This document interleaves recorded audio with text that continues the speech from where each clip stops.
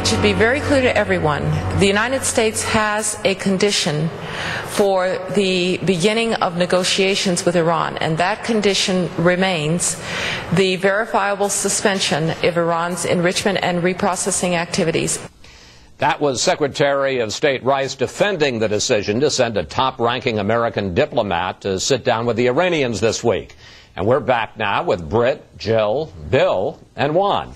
Uh, so the president sent the number three man of the State Department, Under Secretary of State William Burns, to Geneva to join our allies in laying out uh, a set of incentives and sanctions uh, with the Iranians, depending on whether or not they freeze their nuclear program. Juan, uh, you heard Secretary of State Rice say that's not a change of policy. Well, Is it? Well, I think it's obviously a change of policy, but uh, just to give the devil his due, if you will, Secretary Rice, President Bush say it's not a change because they're simply sitting there as an act of solidarity say everyone is here to make it clear that we intend to have a solid front with our allies against the Iranians and to call for sanctions and actions where necessary to get them to step down from nuclear activity.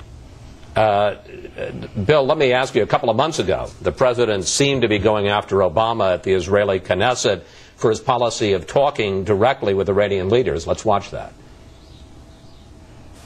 Some seem to believe that we should negotiate with the terrorists and radicals as if some ingenious argument will persuade them they have been wrong all along. We have an obligation to call this what it is the false comfort of appeasement does sending Secretary Burns uh, to this meeting make it harder now for the President and McCain to go after Obama?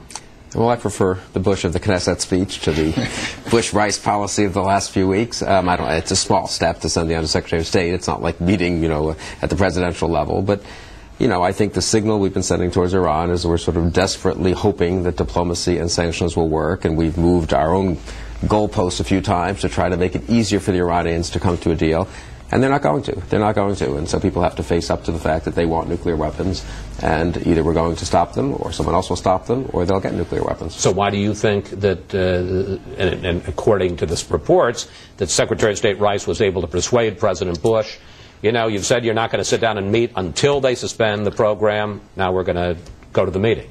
Because in those kinds of conversations, it's always a somewhat convincing argument. So go the extra mile. That way, you, no one can say you didn't try hard. No one can say you didn't go do what every, whatever the Europeans asked.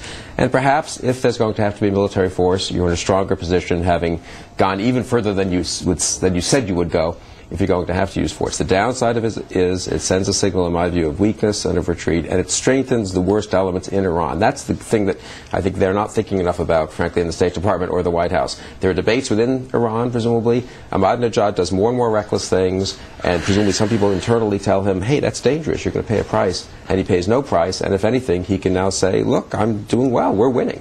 Yeah, but the, the contrary point of view from the Bush administration would be we're standing strong with our allies, and contrary to what you say and what John Bolton said the other day, not, it's not a case of the administration sinking to depths. I mean, I'm, you guys are not, the, the, the Bush administration is now taking shots from the right, but I think the more centrist position is the more responsible position because you should go to whatever lengths you can in go to, to have one peace. in May of 2007. There was a meeting in Iraq uh, hosted by Prime Minister Maliki.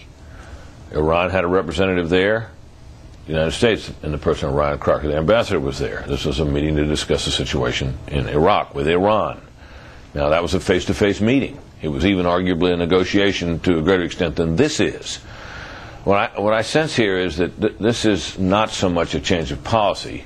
Uh, and, and, it is arguably, you know, you saw the administration's uh, steadfastness in insisting on not being in any meeting alone with North Korea and not negotiating with North Korea, except in the context of the six of the of the, of the three parties that were involved in the, in the North Korea situation. Now we have a similar situation.